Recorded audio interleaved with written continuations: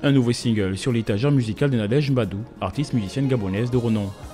Il s'agit d'Andourendi, un single qui signe le retour de l'artiste sur la scène musicale du pays. Le choix du titre pour l'artiste n'est pas anodin, il a tout son sens.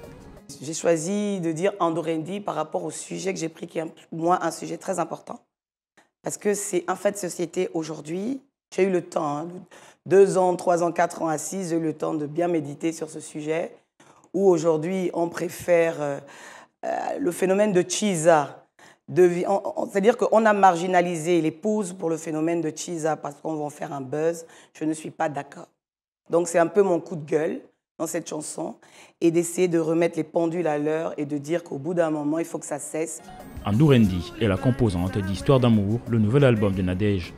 Un ensemble de sonorités dont la sortie est prévue le 14 février prochain, date de la Saint-Valentin une façon de bien célébrer l'amour. On a réfléchi, après on s'est dit, bah, comme il y a la sortie de l'album, on s'est dit, on va faire un concert pour le 14 février, pour la sortie de l'album, puisque l'album s'appelle Histoire d'amour. On s'est dit, bah, il n'y a que 14 février, il faut commencer à bien parler d'amour, même si l'amour est présent avant et après.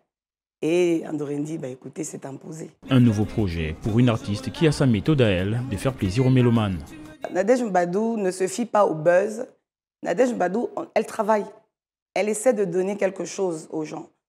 Je ne veux pas faire effet buzz parce qu'il faut que j'existe à tout prix.